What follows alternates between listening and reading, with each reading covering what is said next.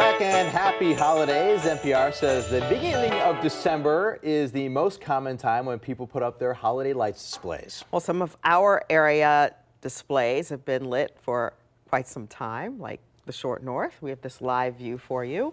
It's not a dream, it's a reality there. It's coming to you courtesy of our photojournalist Tim Flaherty.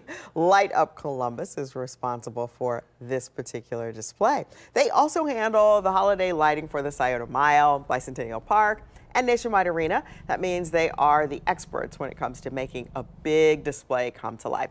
We asked them for some advice for hanging your own holiday display. Yeah, this is what they told us. First, one of the biggest issues they see is with climbing ladders. Climbing a ladder to hang those lights can be dangerous, especially in the cold, windy, or icy conditions.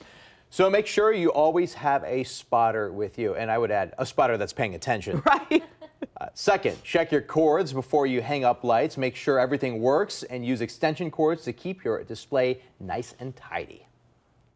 How you manage your cords is an important part. So one of the worst signs of an unprofessional lighting person is they plug the lights directly into the outlet.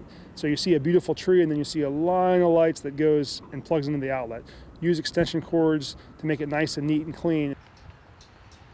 Follow for more pro tips. The expert says the best way to make sure everything goes as planned is to have a plan.